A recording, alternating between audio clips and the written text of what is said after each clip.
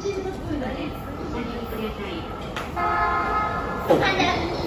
い。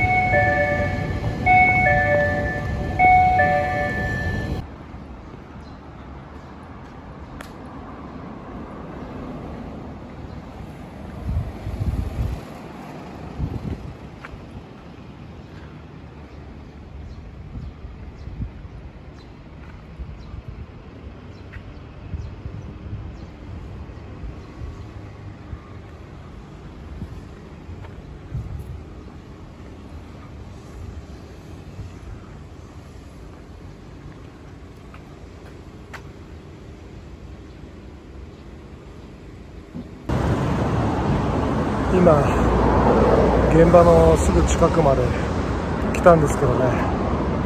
日が当たるんで反対側車線の日陰のあるあたりそこで待ってます。あと15分くらいですかね。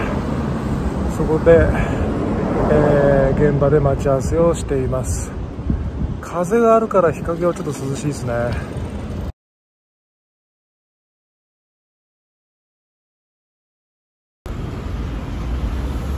今日はあのコピー機の搬入っていうことであの池袋こう東京車の通りが多いんで中金切られちゃうんですよね。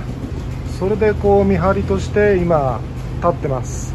配達する人は2人1組でコピー機を会社お客さんのところに届けるっていう感じで、えー、今納品しに行ってますね。で今日は2件の予定だったんですけど1件キャンセルになったんでここの池袋大塚の現場だけです。なんか1件減って ちょっとラッキーって感じですけどね、えー、緑虫が来たら避けます。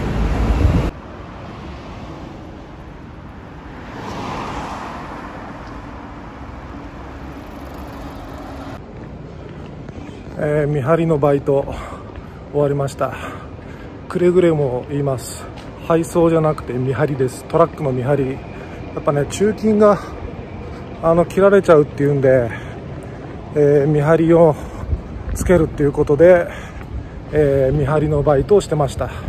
で終わり間際に言われたのが明日空いてますって言われてまあ、空いてますよって話したら明日は助手で、まあ、実際に配送の助手2人1組でやるんですけどその助手をやってくれっていうことなんで、まあ、日当も交渉してですねいいお値段いただくことになって明日は助手で頑張りたいと思います。いや暑い。まだ10時半前なんであの目の前にねラーメン屋あるんですけどやってないんですよ。ちょっとこれ大宮まで行って、えー、食べよっかどうしようか今考えてるとこですね。とりあえず30分もしないでアルバイト終わりました。暑い。ろいろねお店はあるんですけどまだ10時半過ぎたばっかだからやってないんだよね。ああ焼肉いいなあーやってない。吉野家とかじゃ嫌だしな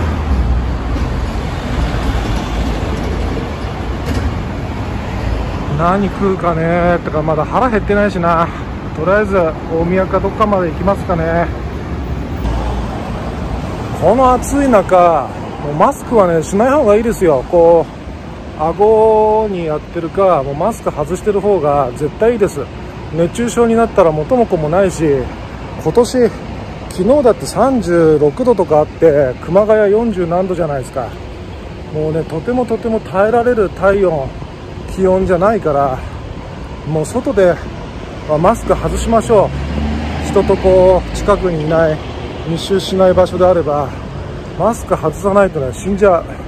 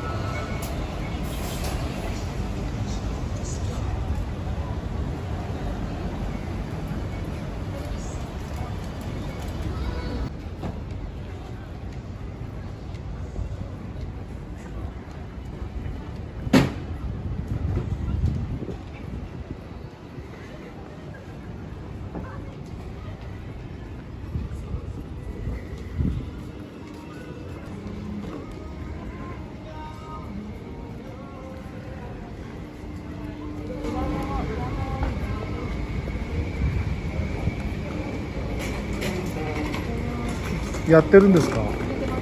やってますはい何名様？一人？